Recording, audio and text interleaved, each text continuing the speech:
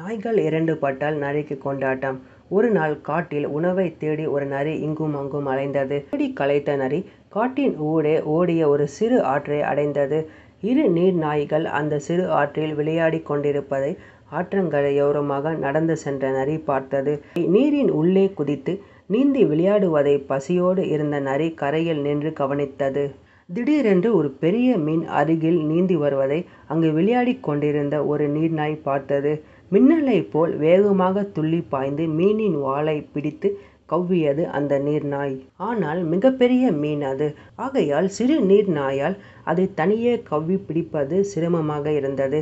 இதை பார்த்த மற்றொரு நீர்நாயும் அதன் அருகில் வந்தது. மீனின் தலைப்பகுதியை பிடித்து கொண்டது. இப்போது மீனால் எந்த வகையிலும் தப்பிக்க இயலவில்லை. இரு நீர்நாய்களும் மீனை கரைக்கு இழுத்து வந்தன. மீனை தமக்குள் பங்கு பிரித்து கொள்வதில் இரு நீர் நாய்களிடமே அதுவரையில் நிலையாக இருந்த ஒற்றுமை நீங்கி அவை சண்டை போடத் துவங்கின. முதல் நீர்நாய் நான் தான் முதலில் மீனை பிடித்தேன். அதனால் எனக்கு அதிக பங்கு வேண்டும் என்றது.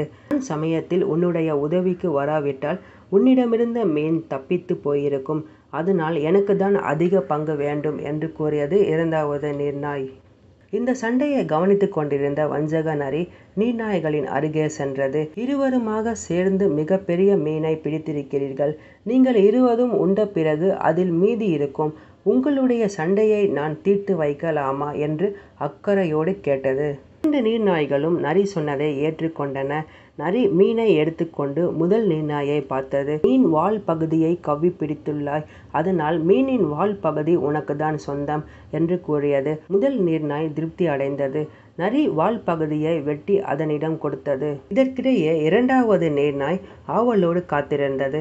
அதை பார்த்த நரி சொன்னது நீ மீனின் தலைப்பகுதியை பிடித்திருந்தாய். அதனால் அதன் தலை நீதான் உண்ண வேண்டும். இப்படி சொன்ன நரி தலைப்பகுதியை இரண்டாவது நீர்நாயிடம் கொடுத்தது. மற்றொரு நீர்நாயும் மிகவும் மகிழ்ச்சி அடைந்தது. அதை பெற்றுக்கொண்டது மீனின் உடல் பகுதியை தங்கள் இருவருக்கும் இடையே நரி எவ்வாறு பிரித்து கொடுக்கும் என்று அவை இரண்டும் ஆவலோடு காத்து கொண்டிருந்தன. ஆனால் நரி உங்களுடைய சண்டையை தீர்ப்பதற்கான பெரு முயற்சியை நான் எடுத்துக்கொண்டதால் மீனின் நடுப்பகுதி எனக்கு தான் உரியது என்று சொல்லியவாறு அதை தன் வாயில் கவ்விக்கொண்டது அந்த முட்டாள் நீர்நாய்கள் அங்கு என்ன நடக்கிறது என்பதை புரிந்து கொள்வதற்குள் மீனை கவ்விக்கொண்டு வஞ்சக நரி ஓடிவிட்டது. தங்களுடைய பேராசையாலும் ஒற்றுமை இல்லாமையால் சண்டை போட்டு காரணத்தாலும் தாங்கள் ஏமாற்றப்பட்டோம் என்பதை பிறகுதான் அந்த நீர்நாய்கள் உணர்ந்து கொண்டன. தி பேராசை பேரிழப்பு. ஓகே காஸ் தேங்க்ஸ் ஃபார் வாட்சிங்